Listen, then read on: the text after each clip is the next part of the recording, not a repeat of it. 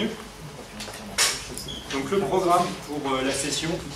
Euh, donc on va faire une première introduction euh, et surtout présentation des speakers. T'as mis que 10 minutes Sylvain? Oui, J'ai mis que Moi 10 j'aurais mis une demi-heure par, par speaker. mais- Ensuite 5 minutes sur les concepts des Mindstorm. Composition des équipes 5 minutes. La création du robot en 40 minutes. Une rétrospective de 15 minutes. Un peu de théorie en 15 minutes. Finalisation, rangement, questions, réponses 30 minutes. Toutes les boîtes de Lego sont numérotées et je suis euh, assez euh, psychorigide donc il ne faut pas mélanger les boîtes. Donc C'est pour ça, on vous a mis une demi-heure, ça va peut-être être juste. Faut pas mélanger les effets. Voilà. Pas Donc, croiser, euh, faut pas croiser les effets. quoi. Je me présente, Nicolas Ledez.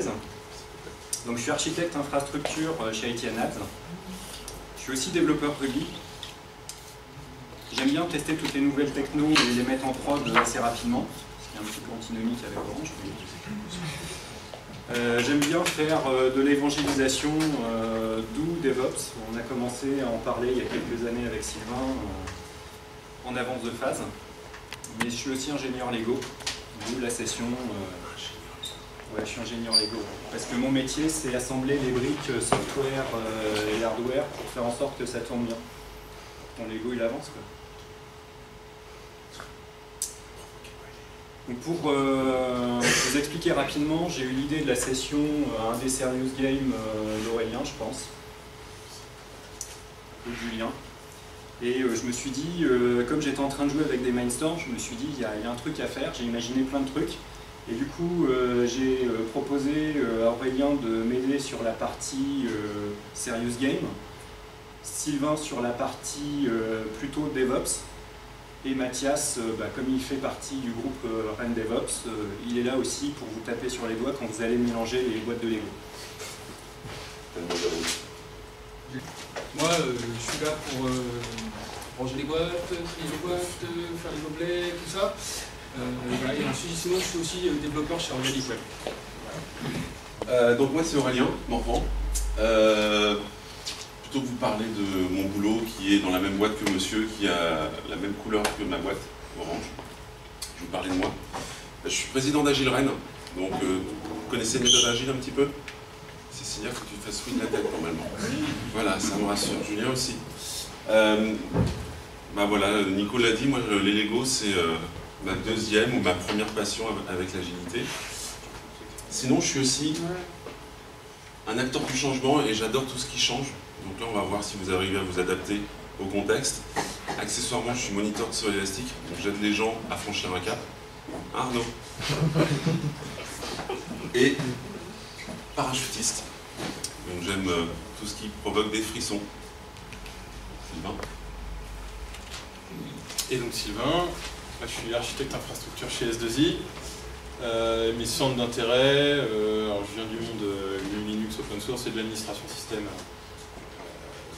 sur des produits open source. Euh, je m'intéresse comme beaucoup de monde, je pense, et comme tout le monde, je pense, au cloud computing.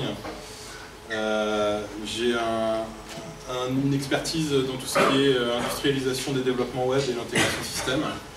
Et puis, naturellement, ça m'a amené à, à m'intéresser à, à tout ce qui est DevOps, l'écosystème DevOps. Alors, avant de faire la petite présentation des, des concepts, euh, un petit sondage rapide. Qui, a déjà manipulé des DevOps, des, pardon, des Lego Mindstorm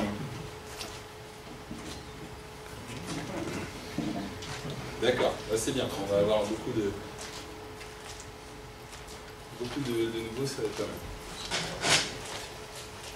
Donc pour vous faire une petite histoire des, des Lego Mindstorm, donc, euh, vous avez peut-être euh, eu euh, dans votre enfance des Lego et au fur et à mesure où vous avez vieilli, vous avez eu des Lego de plus en plus évolués, jusqu'à avoir des Lego Technics, donc des Lego assez évolués au niveau mécanique, avec des super engrenages, je ne vais pas en sortir parce que je vais tout foutre par terre. Et en fait, il y a une bonne vingtaine d'années, ils ont commencé à faire des espèces de petites briques intelligentes qui permettaient de rajouter des automatismes dans, le, dans la boîte de Lego.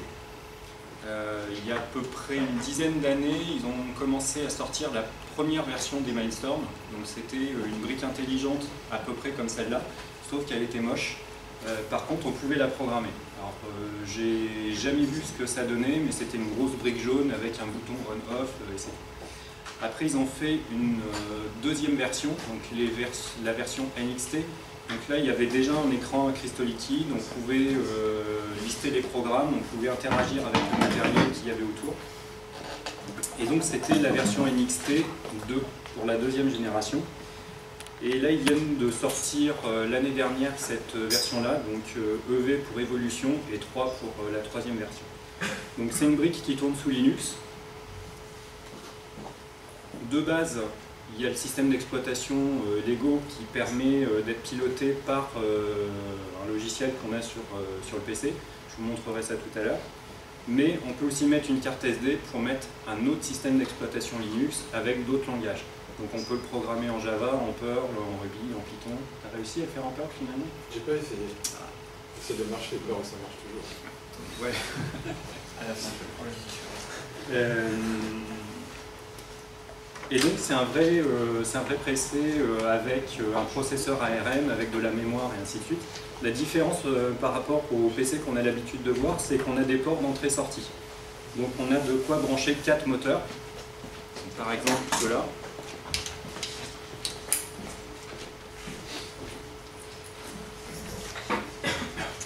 Je peux faire tourner dans un sens, je peux faire tourner dans l'autre. On a un deuxième type de moteur.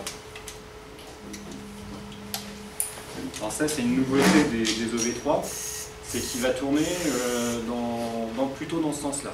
Ouais, les Gamiens aiment bien faire des trucs pour découper les autres.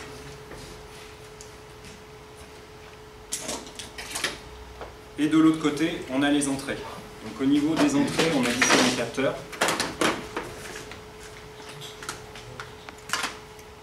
On a le capteur le plus simple, c'est un capteur de toucher, ça renvoie 1 ou 0 euh, suivant si ça touche ou pas. On a un capteur de luminosité de couleur, donc il est capable de détecter les couleurs euh, rouge, vert, bleu, ainsi de suite. Euh, il est capable de détecter la lumière ambiante, donc euh, là il y a euh, 30% de lumière, je le mets sous l'éclairage, il y a 100% de lumière, et comme ça il y a 0. Et il est aussi capable de donner la lumière qui est réfléchie. Donc sur du noir, il y a 0% de réflexion de lumière, sur du blanc, il y a 100%. Et il va détecter des niveaux de gris. Et le dernier capteur, c'est un capteur infrarouge. Donc il a plusieurs fonctions. Il a une fonction de télémètre pour donner une distance entre 1 mètre et quelques centimètres. Il, peut aussi servir pour la télécommande. Donc la télécommande euh, a 4 boutons avec 4 possibilités euh, de, de channel. Et il y a un autre mode qui est de la balise. Donc on allume la balise et en fait le Mainstorm va détecter la position de la balise et sa distance. Donc euh, on peut mettre une balise à un endroit, le Mainstorm va la retrouver pour aller la rechercher.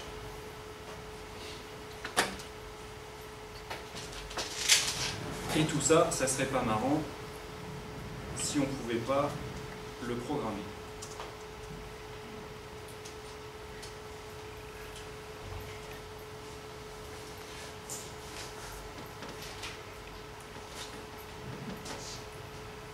C'est un produit qui est euh, basé sur la View. Donc je ne sais pas si vous connaissez, mais le principe c'est euh, des espèces de graph-sets euh, qu'on va mettre les uns après les autres. On va mettre des fils de données entre chaque et ça va faire le programme. C'est beaucoup utilisé dans tout ce qui est scientifique et mathématique. Donc on arrive sur l'interface de programmation. Donc on peut documenter le travail pour mettre les montages à disposition sur Internet. Donc on va fermer cette partie-là, ne nous intéresse pas. Ce qui va nous intéresser aujourd'hui, c'est deux onglets. On a cet onglet-là pour les actions, donc piloter les moteurs. Donc on a le moteur moyen, on a les gros moteurs. On peut déplacer par rapport à une direction, on peut déplacer en mode char. Et on a les structures conditionnelles, donc des boucles et des sélections. Je pense que vous devriez vous en sortir. Euh, Les enfants hier ont réussi euh, à faire à peu près ce que je leur avais demandé. Enfin, pour ceux qui étaient convaincus qu'il fallait faire ce que je demandais. Voilà. Est-ce que vous avez des questions? Alors les enfants hier nous ont pas perdu une seule pièce de Lego. Nous on attend de vous le, le même niveau de discipline. Voir qu'il y en ait plus à la fin. Ok. Euh, si j'ai bien compté, vous êtes 33. Il y a 5, 5 équipes qui vont faire du dev, 5 équipes qui vont faire de l'ops. 33, ça se divise difficilement par 5 et par 2. Donc, euh, ce que je vous propose, c'est qu'on va faire des équipes de 3 pour le dev, pour l'ops. Il y a une équipe où on, mettra 5 personnes. Et peut-être au niveau ops ou dev. Où est-ce qu'on charge? Hum, Plutôt au niveau ops. Allez, il y aura une équipe d'ops qui vont construire le robot. Vous serez 5. Ah bah vous serez compliqué quand ça arrive encore de, de 13. Vous êtes 34. C'est ça l'agilité, on va s'adapter, ouais, effectivement. Merci Julien. tu as très bien réussi hier le challenge de l'œuf. J'ai bien compris. hein. Donc, on va charger une équipe, deux équipes, on va les charger avec deux personnes de plus. Ceux qui ont déjà fait euh, du Mindstorm, c'était qui? C'était il y a trop longtemps. De préférence, vous irez dans des équipes d'Ops où on construit le, le, le robot.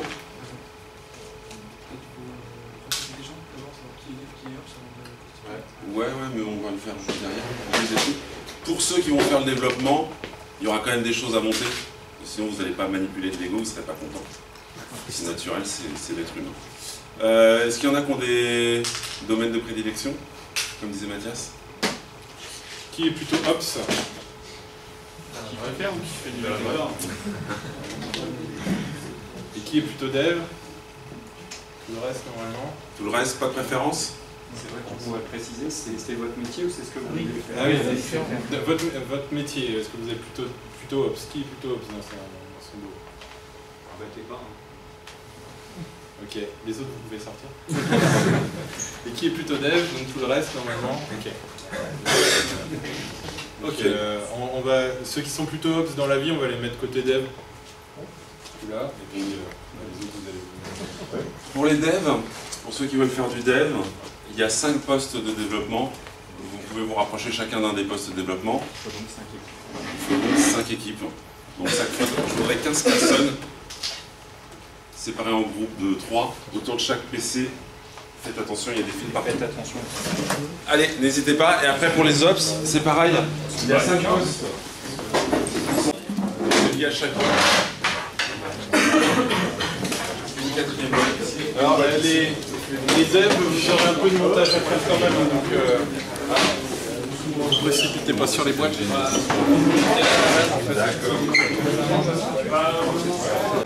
C'est bon C'est bon Donc le but du jeu va être de construire ce robot, dont le petit nom est Tracker. D'accord Donc ce robot, euh, alors Tracker c'est toute la partie qui est ici, et puis on va lui rajouter euh, un, petit marteau. Vous allez voir tout à l'heure qu'il y a un marteau dessus. Euh, le marteau sur tracker dans notre exercice euh, sert à rien, mais le market a insisté pour le mettre. D'accord c'est des cas qu'on rencontre dans la vie, on est d'accord. Donc on va construire tracker, et le but du jeu, c'est que notre tracker soit capable de passer dans un labyrinthe relativement simple de ce type-là, c'est-à-dire qu'il va devoir être capable d'avancer, de contourner le premier mur, de contourner le second mur, etc., jusqu'à arriver à la sortie. D'accord? On le fera, on construira ce labyrinthe tout à l'heure avec des chaises qu'on mettra et puis on testera vos robots. D'accord? Euh, Une des règles qu'on va mettre en place, c'est que, comme dans la vraie vie, les équipes de dev et les équipes d'ops ne doivent absolument pas se parler. D'accord? Et puis, et puis, et puis, et puis voilà. Et donc, les côtés Ops, vous avez un plan de montage de la base de Tracker, donc euh, de la base ici. Euh, côté Dev, vous avez le logiciel à disposition, donc il va falloir réfléchir à l'algorithme qui va vous permettre de faire ça.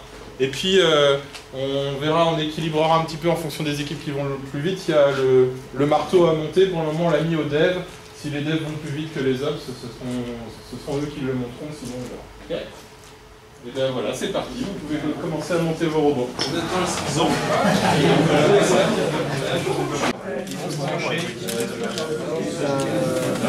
La barre de 5, C'était la dernière. De toute façon, il doit être là. C'était la dernière. Il était là. Il faut passer sur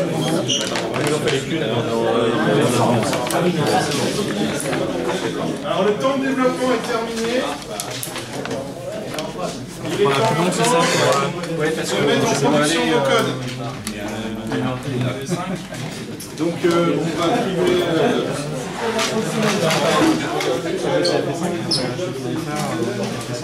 Alors. Ah, la plateforme de prod n'est pas prête Eh non Voilà. Bon, une plateforme de prod pas prête. Euh, alors, vous, vous allez aller avec eux. D'accord Vous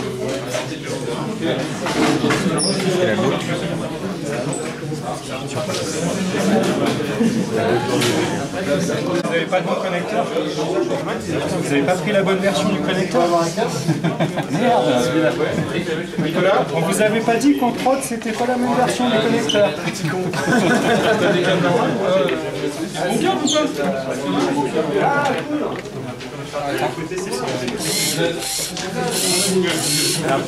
La question qu'on se posait, c'est quand on fait tourner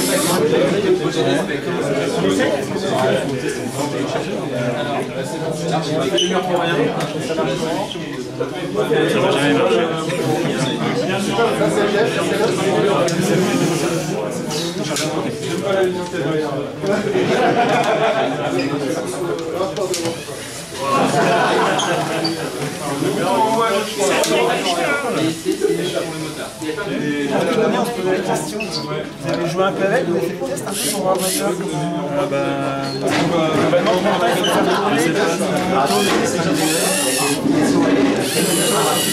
Ça dépend si tu veux tourner sur le va mettre une. Ouais, on a, il y a une flèche, un de flèche. Tu peux l'arrêter. Allez, t'as le droit au deuxième essai si tu veux. Positionne-le à l'envers.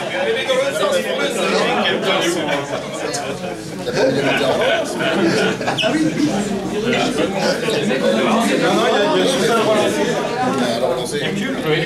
Heureusement qu'il a marqué code chaman hein,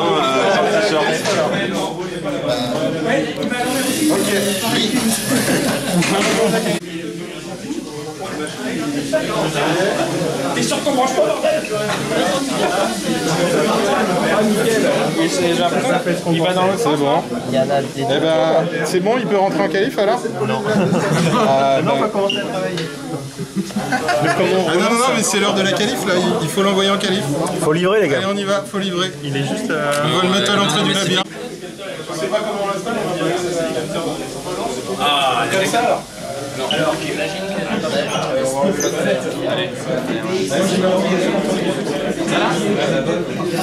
Nickel Il est nickel votre programme Oh, mais eh, oh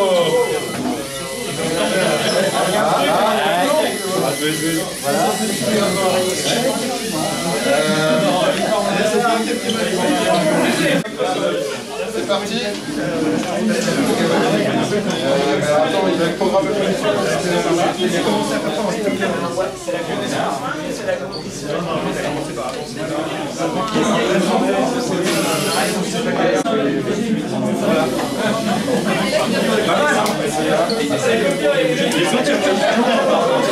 C'est parti.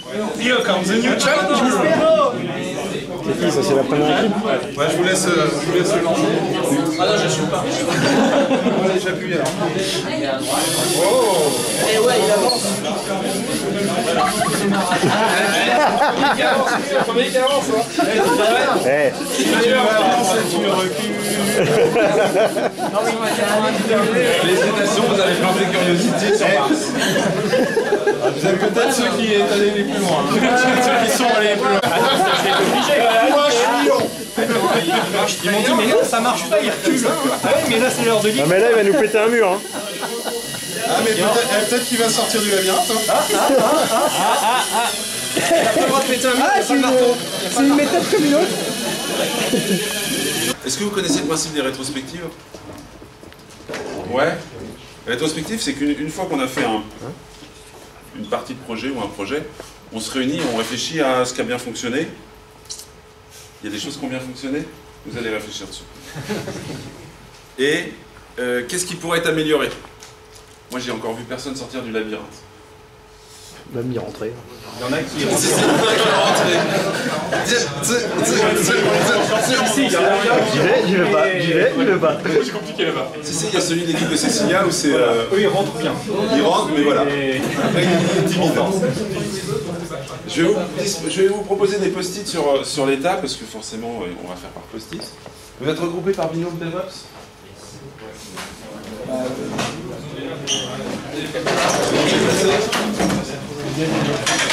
Donc, sur les post-it, il y a des post-it verts, il y a des post-it roses. Vous allez les imaginer verts et roses d'ailleurs. Les roses, c'est tout va bien. Déjà, c'est assez énorme, c'est symptomatique. La première réaction, Faut prendre des chaises. non, c'est les ops qui vont vers les lèvres. Excusez-moi, C'est normal, ils ont le PC. première réaction, c'est les ops qui vont vers les devs. Les devs se bougeraient pas les fesses. T'as besoin du PC pour la rétro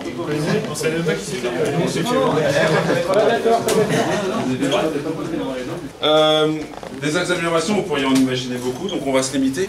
Deux post-it par personne. Deux post-it verts, deux post-it roses. Sur les verts, vous allez identifier ce qui s'est bien passé. Sur les roses, ce qui s'est pas forcément bien passé, qui pourrait être amélioré. D'accord? Vous avez tous des stylos dans vos sacs euh, goodies? Non? Avec votre USB. Vous grattez fortement sur le post-it. Les post-it derrière, on va faire une rétrospective, qui s'appelle Tourne la table. Certains connaissent? Non? Alors déjà identifie. Tourne la table. Tu connais? Je laisse gérer ton binôme. Je vais expliquer. Une fois que vous aurez défini vos quatre post-it, deux verts, deux roses, alors c'est entre 0 et 2 pour chacun. Peut-être que vous n'allez identifier aucun point qui pourrait être amélioré. Peut-être. Ou pas.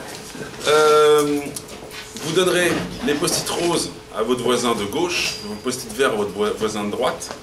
Et sur chaque post-it, c'est juste trois mots. Trois mots qui euh, évoquent votre idée. D'accord Et c'est la personne qui va interpréter ce qui a marqué dessus et qui va la lire en l'interprétant, avec son contexte et son vécu.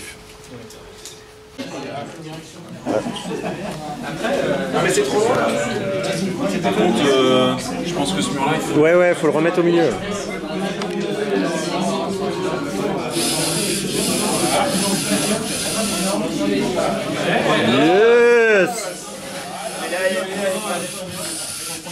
Ah merde. Attends, on va. Le mur était pas assez grand.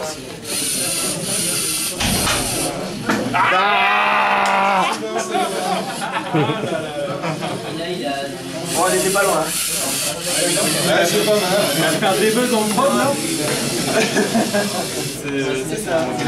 Bravo Sylvain, il y a un courageux.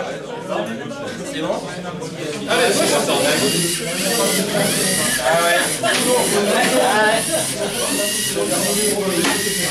un temps, c'est bon en fait. Du milieu, c'est ça 92.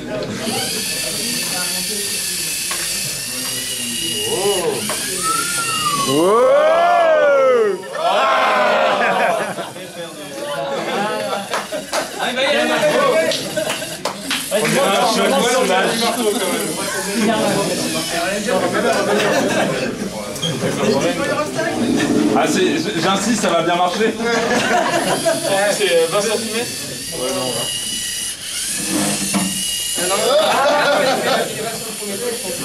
J'ai peur, j'ai peur. Normalement, celui-là est censé marcher.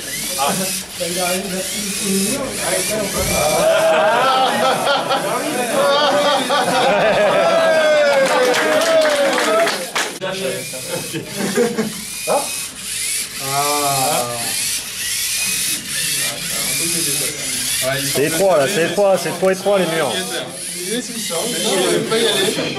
Aller. Fuck the wall. La Google mobile, comme ça, ça.